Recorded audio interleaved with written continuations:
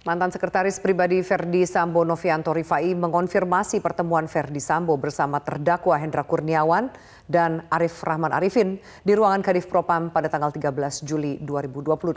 Pada saat itu Hendra hendak menyampaikan laporan Arif mengenai CCTV yang menunjukkan Yosua masih hidup saat Sambo datang di Duren 3. Masuk. Siap, berdua. Ke ruangan Pak FS. Pak FF. Siap. Melewati saksi. Siap, betul. Saksi melihat langsung berarti? Siap, melihat. Berdua ini masuk? Siap. Jam 8 malam ya? Siap. Pada saat itu jam 8 itu, apakah Pak Ferdi Sambo selaku Kadif Propam pada saat itu masih ada di ruangan? Siap, masih ada di ruangan kerja. Masih ada di ruangan kerja? Siap. Sehingga saksi belum pulang tentunya karena Siap, Pak tidak, Kadif Propam belum tidak pulang, pulang. ya? Siap. Pada saat itu hanya berdua ini yang ketemu dengan Pak Ferdi Sambo. Pak Cuk tadi yang di pantry ikut juga atau tidak? Tidak. Tidak ikut, cuma Tidak. berdua. Terdakwa Siap. Hendra Kurniawan dan Pak Arif Pak Rahman. Arif Rahman. Berapa lama di dalam? Tidak lama, eh, kurang lebih 10 sampai 20 menit saja. 10 sampai 20 menit Iya, dalam setelah ruangan. itu keluar, Pak Hendra langsung keluar, Pak Arif Rahman ke pantry dulu.